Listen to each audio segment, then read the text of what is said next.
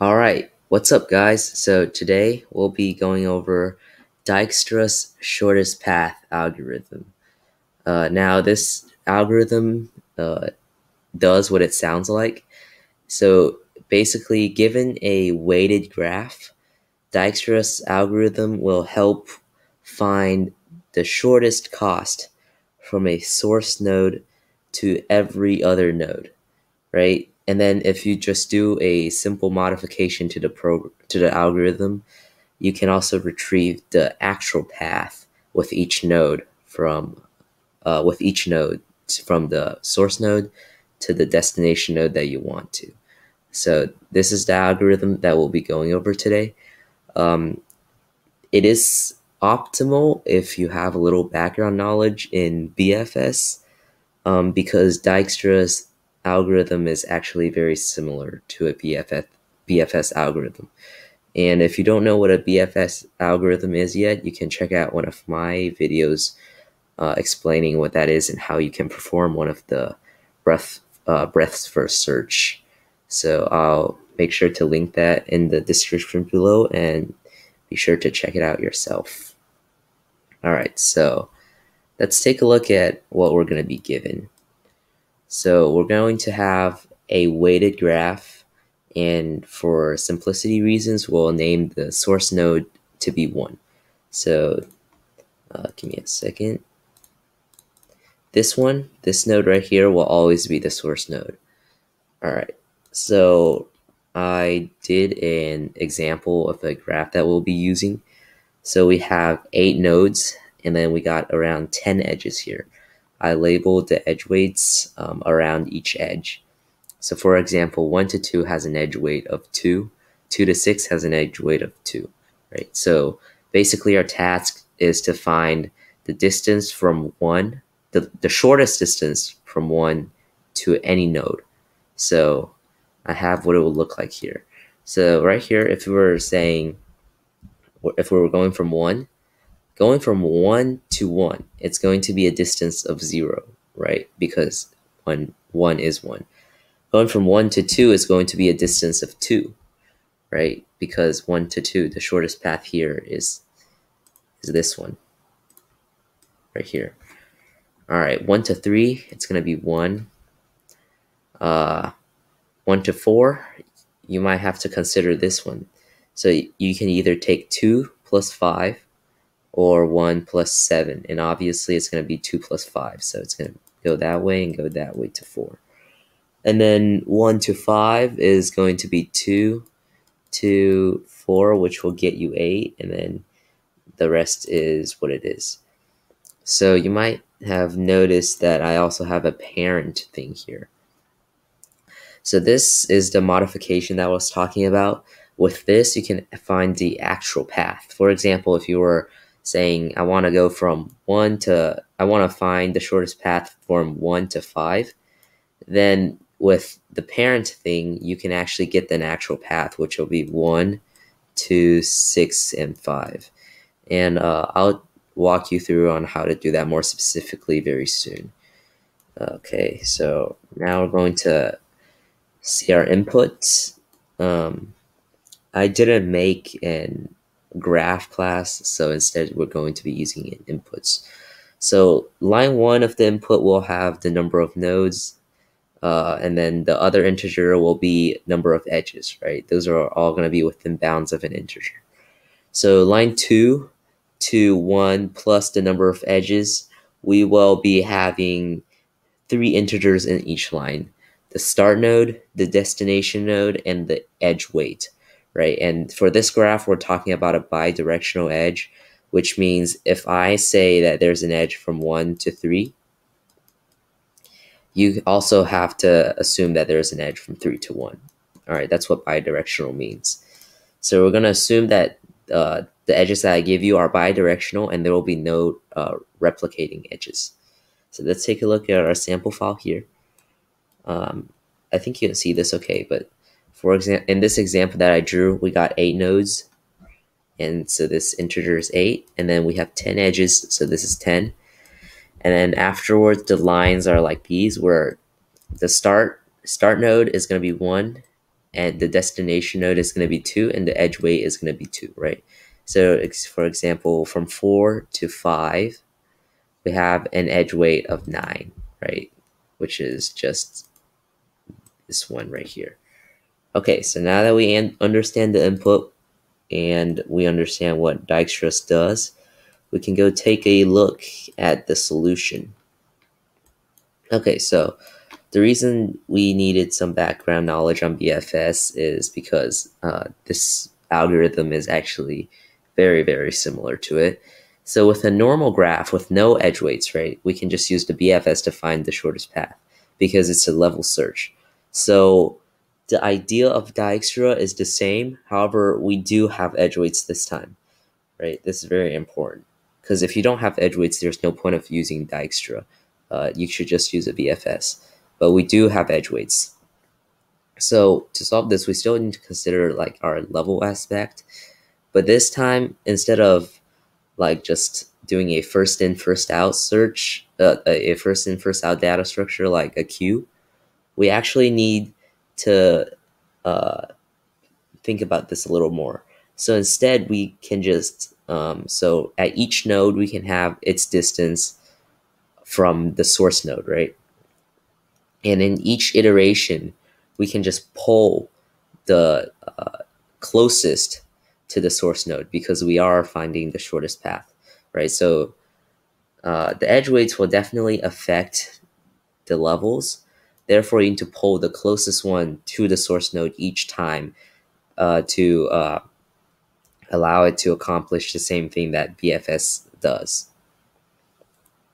Right, so we can just use a priority queue to pull the smallest distance nodes from the source nodes first, and then run a BFS-like algorithm, which was result in a shortest path algorithm. All right, now we have a note here. I'll be representing the graph with adjacency lists. Um, usually you want to do that instead of adjacency matrix if, if they give you an input like this. If they give you a class, I would just go with the class. But if they give you inputs with uh, the edges and the number of nodes, I would use an adjacency list. Now, of course, you could use an adjacency matrix. It's just that uh, it's a little more time consuming because some cells might not be edges and you wouldn't want to waste runtime on that. However, there are a few downsides with using adjacency lists. Uh, one, they're a little confusing to get at first, but they should be fine mostly. So with adjacency lists, we'll speed up our runtime, and then uh, I will actually walk through what an adjacency list is right now. So you might have heard that adjacency matrix is you got um, it's a matrix. It's a two-dimensional matrix. So you got um, the start node and the end node, right? But adjacency list is the same thing. So for example, we're just going to do 1, 2, and 4, these, these four nodes. So in node 1, we're going to have an array of lists. And the list is going to hold a class called 2, right? 2 is going to have two variables. Um, the node, node 2, right? And then it's also going to have the edge weight. I'll just say W. So it's going to hold a an array of lists of twos. So imagine that these are the individual array cells, right? So for example, in one, we have a edge from one to two and an edge from one to three. So in here, we'll actually, so this is one, two, three, and four. In here, we'll have in 1 we'll add the 2. So 1 is going to 2 with an edge weight of 2, right? And then we'll also need to have 1 is going to 3 with an edge weight of 1. Okay, so that's 1. So 2 is going to 6 and 4. So 2 is going to 6 with an edge weight of 2. 2 is also going to 4 with an edge weight of 5. So basically that's how you're going to represent it. And this is good because if we want to say get all the nodes that is going to be branching out from one, all that we have to do is go to index one and then loop through this whole list to find the nodes, right? So I'm going to erase some of these and then we can go through what an implementation might look like. All right, so obviously you can tell that we're going to use this graph and now I'm going to head over to IntelliJ and we can start some code. Alright, so I've actually started with a new class called Dijkstra Algo. Feel free to name it the same thing that I named it, but you don't have to. Okay, so majority of our code is going to be in public static void main because that's what uh, it should be in. And then, so we gotta start with a few variables. So let's consider this. Um, in my example that I showed you, obviously we're going to be needing of a res, right? A res array where you'll store the distances. So where you'll store these values, right? Obviously, we're also going to need a parent array where we'll store these values. Okay, and then obviously we're going to also need a priority queue. So we can just straight up, um, straight up uh, instantiate those variables. So we're going to have an int array parent. Now I, I am going to make this global because uh, we're going to pass in a, sorry, I am going to make this global because in another function where we find out the actual path, we'll be using recursion and I just don't want it to get too messy with the parameters. So parent is going to be global. And then our uh, adjacency list, sorry, our um, our list that holds the actual path is also going to be global because I don't want it to be too messy once again. It's so it's just an int array and a array, array list, right? Nothing too fancy yet. And then to get the input, I'll be using scanner. Uh, basically, what scanner does is it allows you to do console input, and then you can input uh, anything you want, basically. And then so we're going to have, remember our input uh, type is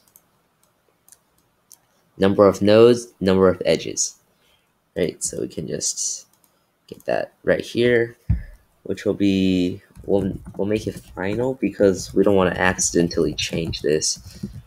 Right. So final int and final int e equals new int and then in dot int. So what this is is in is the scanner thing, and then the scanner has the, this next int method that returns the next int in your console, and then you can just pass that in. So n is going to be the number of edges, and then e is sorry, n is going to be the number of nodes, and then E is going to be the number of edges. Okay, so now we can get our um, adjacency list, but before we do that, remember what I said about adjacency lists? It's going to be an array of lists of uh, a class called 2. Right, so we have to make the class first. So class is going to be called 2. So basically what we're going to do in 2 is we're going to have an int node and into weight, right? This is the two node, two node, and then the edge weight of that two, right? So we're gonna have a constructor and take an in n into w. So node is equal to n, weight is equal to w. Okay. Now here we can instantiate our list and our array of list of two. Right, call it adjacency list. And it's going to be equal to new list n, right? Because we only need number of n. Now we have to make a side note. This is going to be plus 1 because our nodes are going to be 1 indexed, right? Our nodes are going to be 1 indexed, which means uh, we won't have 0. So we're going to and the, the problem is arrays are zero indexed.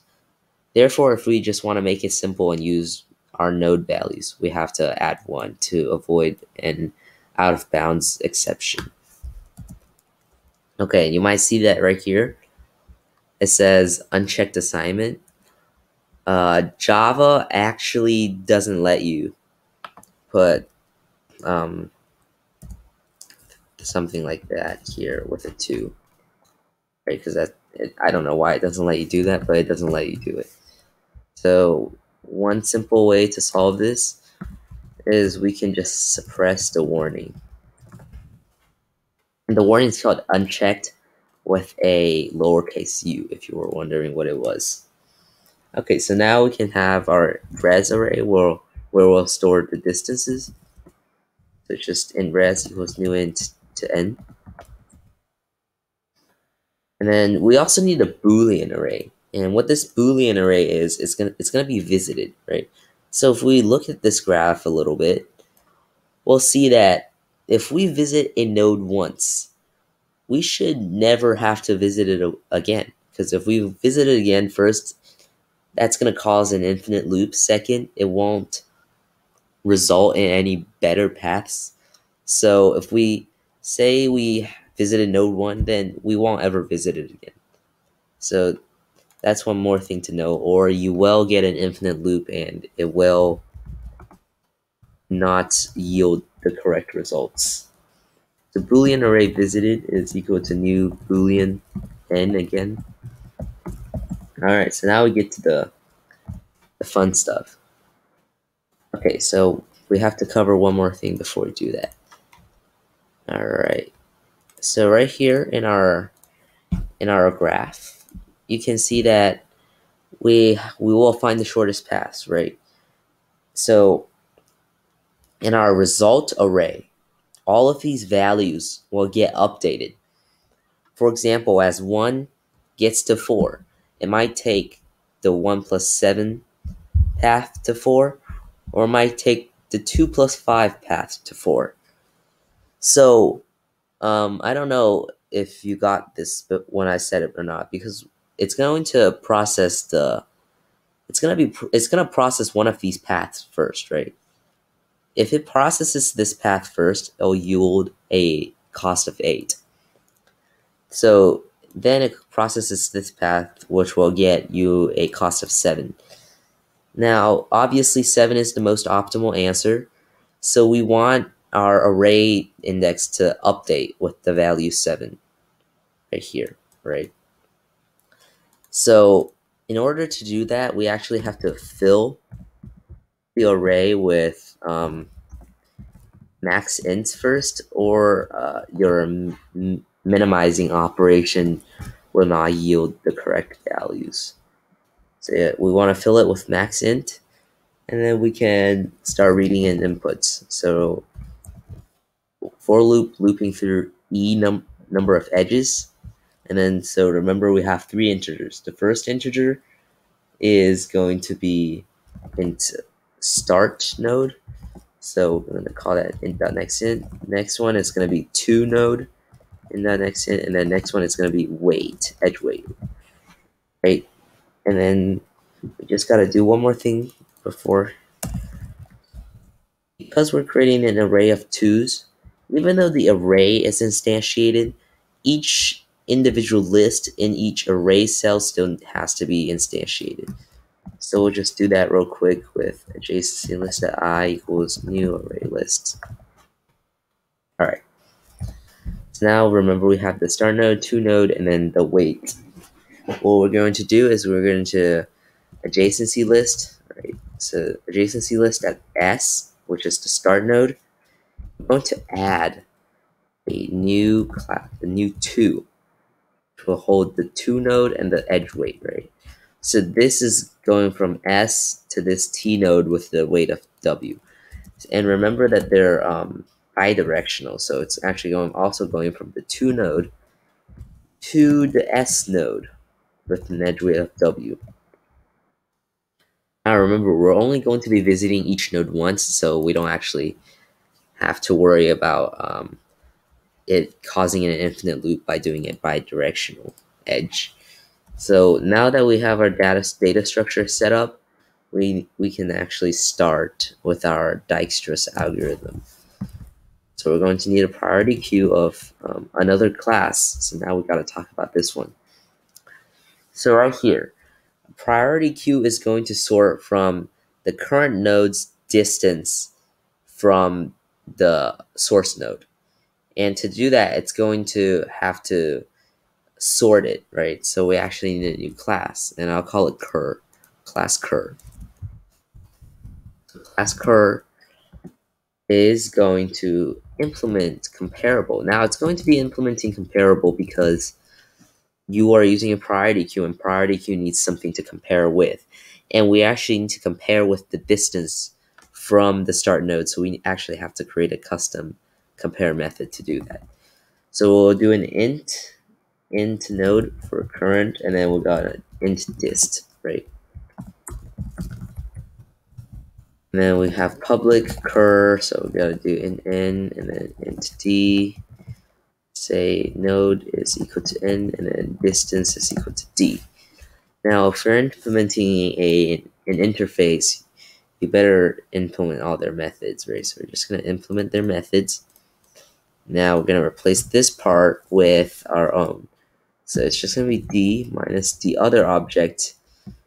Um, those d right? Distance.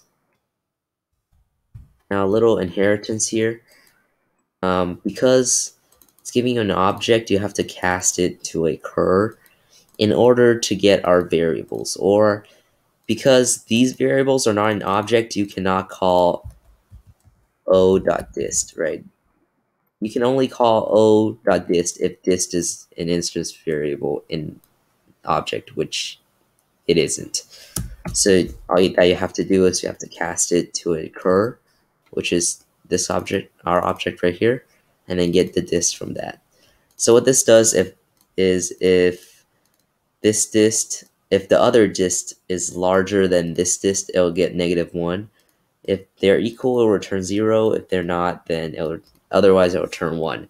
And the priority queue is going to take these negative zero, or positive values, to sort them in ascending order. Okay, so we're going to have a priority queue of curs. The queue equals new priority queue. Now, priority queue is not a linked list, so be careful with that. The linked list will not give you the whatever value you called for here first every time you call it. So make sure that you're not setting anything sketchy for your queue. Make sure it's a priority queue. Okay, so obviously we have to do some um, initializing work. So we ha obviously have to add our source node in, and it's just going to be a um, simple thing. And one thing I actually need to do is we also need to do a from. Get into that in a second, but basically that from is going to be help us find the actual path. So we have a from, right? So we're just going to do new cur. And then we have the, our node here, and then our distance, and then our from. So our node is going to be 1. Distance from 1 to 1 is 0, and then our from is also going to be 1. Okay, so um, all that we got to do now is to res at 1 is going to be 0. We do have to preset that. Um, I mean, you don't have you don't have to, but you can. Um, okay, so while this is our standard BFS thing, while q is not empty, we'll do a level. So q dot size, and then for that size, we'll have per equal b to q dot poll. This pulls the cur object the smallest distance from the source node object out first. Remember, we're using a priority queue here. So with that, now we can continue. So we're going to do an int node is equal to dot Okay. So now we got to set our visit to true because we don't want to visit this again. And then we can check that if the res and node is uh, smaller, is larger, is larger than this current distance from the source node, then we can update this to be our current distance, right? Pretty self-explanatory line here. And then after that, we need to loop through all of its uh, neighboring nodes, which is the nodes that it's going to go to. So we're going to use our adjacency list here, which is going to be adjacency list at node, which will get us all the paths uh, from node to something else. That size. Okay, so int n is going to be the 2 of that. So we'll do adjacency list at node dot get j dot node. And weight is just the the edge weight of that of node 2n. weight And then we gotta check one thing first. So if visited if n at visited is true, then it's visited and we don't want it, so we'll just continue. If it's not, then we actually want to add it to the queue. So we'll do add new cur, and then it's going to be this new node, and then our current distance, our current distance plus this edge weight, and then uh, from is going to be from our current node, so just node. Okay. So one thing you might notice is that what if this current distance plus w is bigger than the actual optimal path?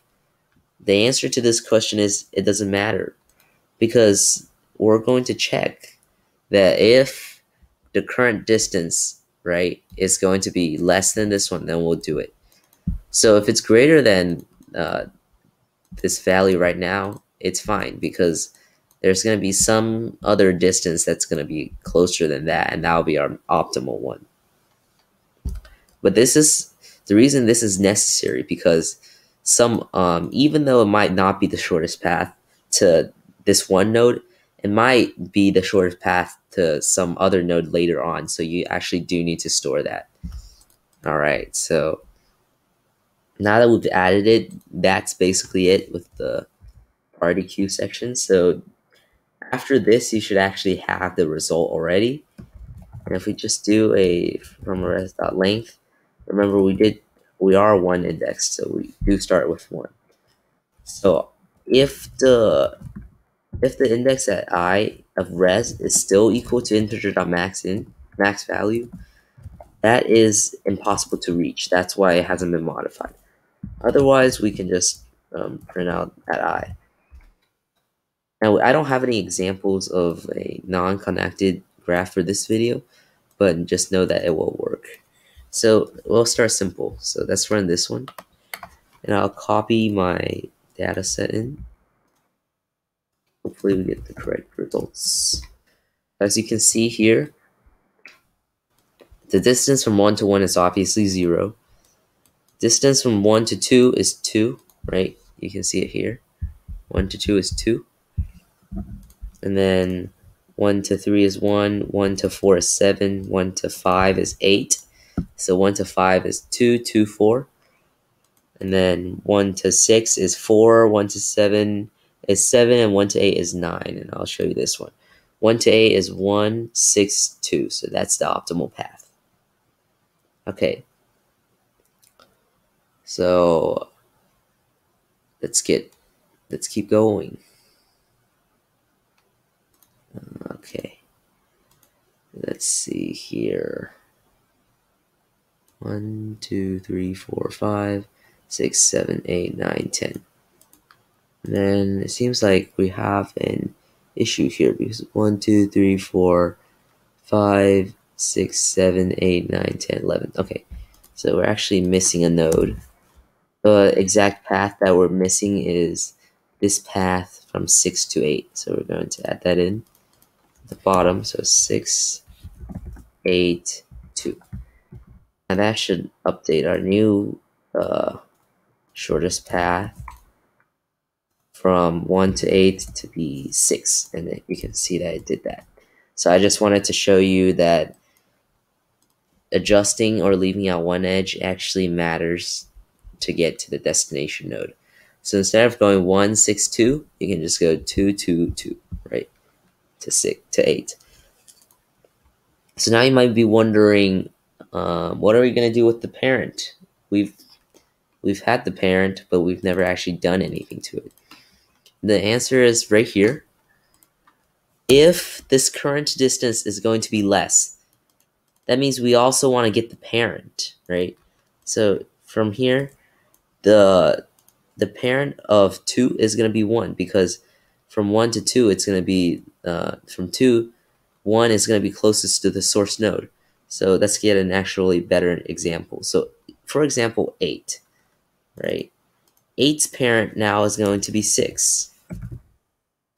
And it's going to be 6 because 6 is the previous node that is closest to 1.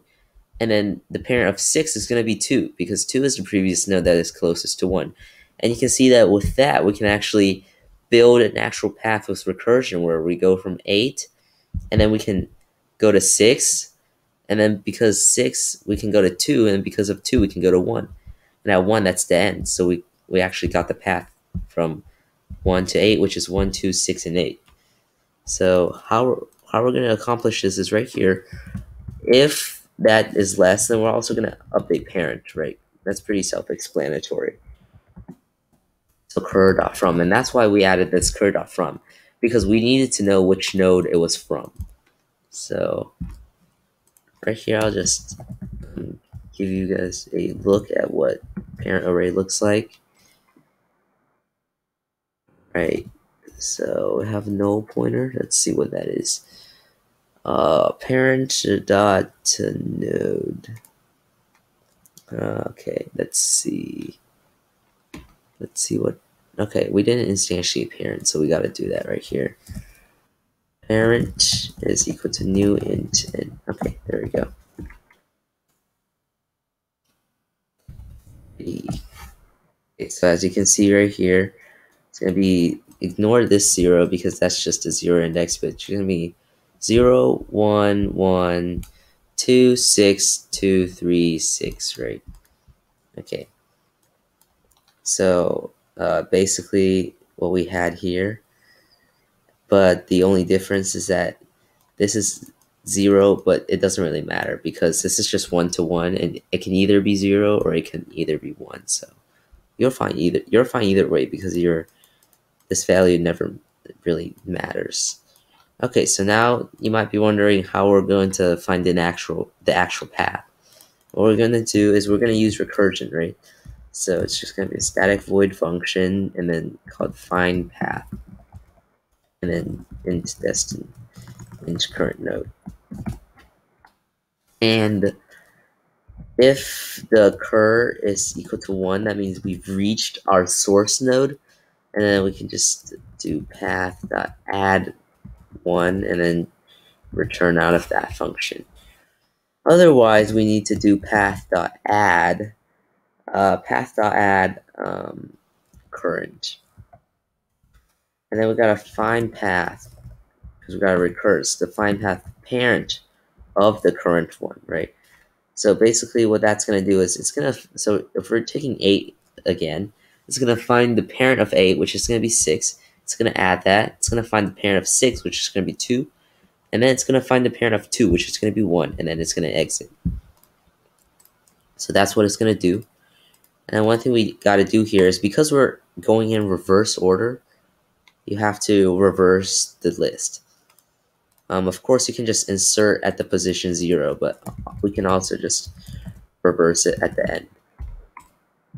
So right here, we've finished our uh, find path, and then we can just test it here. So we'll find path from 1 to 8, and then we'll system dot out our path, uh, our path list, which is right here.